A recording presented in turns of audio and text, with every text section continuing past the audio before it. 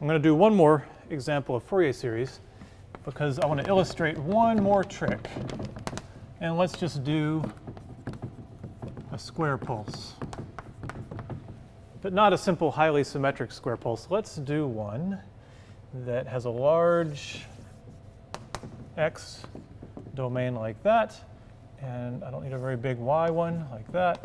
So x is going to go from L to minus L. And then the pulse will just be um, to L over 8. Something like that. And the height of the pulse we'll just call h.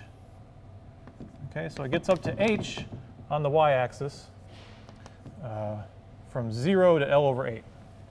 And then it's 0 everywhere else. So it's just a, a small pulse in the domain minus L to L, like that. Okay?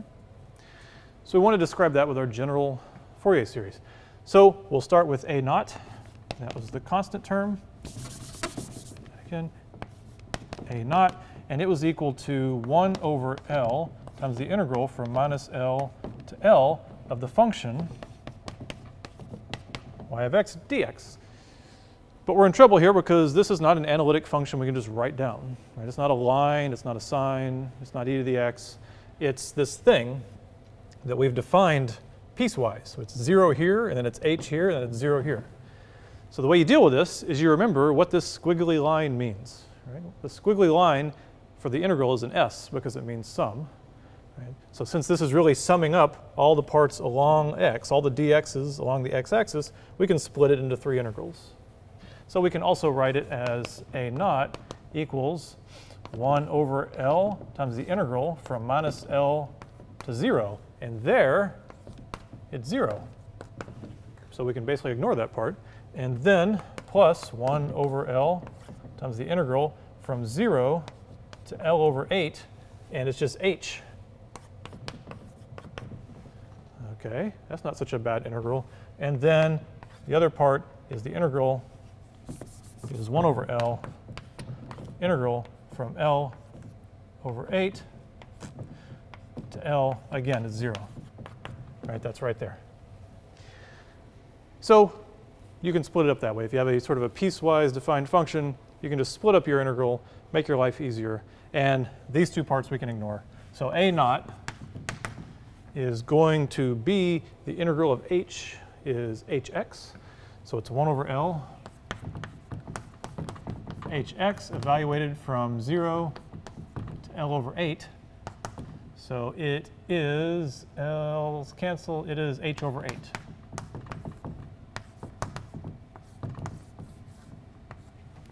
So that's the trick, breaking up the integral. Let's go ahead and do the ANs. Let's see, the ANs are the um, cosine harmonics. So AN is going to be 1 over L times the integral from minus L to 0 of the function times the cosine harmonics. But that's still just 0. Right? I mean, 0 times that. You can still ignore that part. Plus the integral from, let's see, um, 0 to L over 8. And now here, 1 over L, it's h times the cosine of those harmonics plus 1 over L times the integral from L over 8 to L of, again, 0 times the cosine harmonics in pi over L x. So 0, 0, the only thing that matters is this. So then we have what? h over L are the constant parts. And the integral of cosine is sine, but we have to do pull out an L over n pi sine n pi over Lx. And evaluate that from 0 to L over 8. Let's see. So um, those L's cancel. It's h over n pi and then we plug in L over 8 here, those go away. It's sine of n pi over 8 minus, and then we do all this with 0, the sine of 0 is 0. Right? So here we have an. The an's look like that. H over n pi sine of n pi over 8. I got it right. Um, the b ends, I'm just going to give you the answer, and you can do it for fun, because now you see what to do. You just break up the integral, and only the middle term will give you anything. This one's a little more complicated. Both limits end up mattering.